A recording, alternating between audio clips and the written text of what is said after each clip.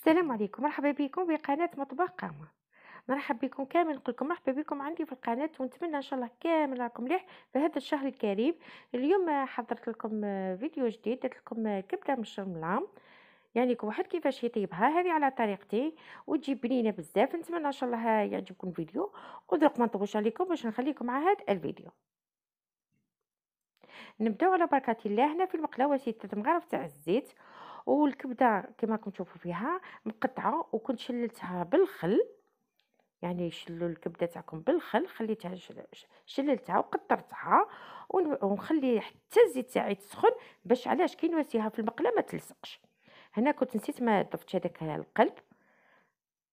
هكذا كما راكم تشوفوا مقطعة مكعبات وما يجيو كبار وما يجيو صغار. نغطيوها لخاطر ترش. هنا كنت حطيت هذاك القلب. نخلي في الأول النار تكون شوية قوية ومن بعد نقص لها النار ونخلي الكبدة تاعي تنقلها نص طياب هنايا بعد ما يعني القلب نقلها لي مليح نحيته خاطر القلب ما يتشربلش يتشرمل غير الكبدة. كما راكم تشوفوا فيها بعد ما طابت لي نص طياب ما كانش طابت كامل. عندي في بول وزيت خمس سنات تاع توم بحجمهم كبار كان عندكم توم صغير ديروا بزاف. وزيت طوماطيش كونسونطري مغرفة صغيرة ماشي بزاف ووسيت شوية تاع الماء وبالنسبة للتوابل وسيت شوية فلفل الكحل شوية كروية ماشي بزاف والعكري هذه هي. وكما راكم تشوفوا فيها دوك نخلط في هذيك الدرسة. نخل هكذا نقليها. يعني هذه على طريقتي. نقليها شوية. وهنايا بهذاك البول نعاود هكذا نشلو كامل بهذاك الدرسة كامل. قلت لكم لو كان عند يحب تحب الكبدة مشرمله تحب الثوم وشوية كروية ما تكثرش كروية في الأول. تمرر الحاجة.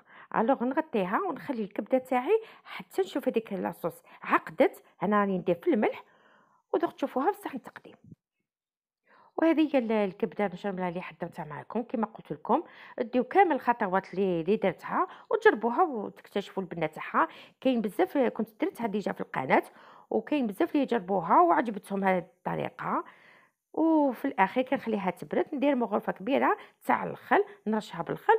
وهذه الكبدة تاعي اللي حضرتها معكم اليوم. قلت لكم في الأخير عاودت وسيت لها شوية كروية. وهذه هي حتى تجي لاصوص تاعها عقده وتجي بنينه بزاف. إن شاء الله تجربوها. طبيعه الحال كي تكون عندكم واجدة الكبدة. جربوها وتكتشفوا البنه تاعها وهذا هو الفيديو اللي حضرته معكم اليوم. نتمنى إن شاء الله يعجبكم. ولا عجبكم وسيو لي جيم وشاركوا في القناة. خليت لكم لهنا وراح البال فيديو آخر. ونقول لكم تهلاو في روحكم.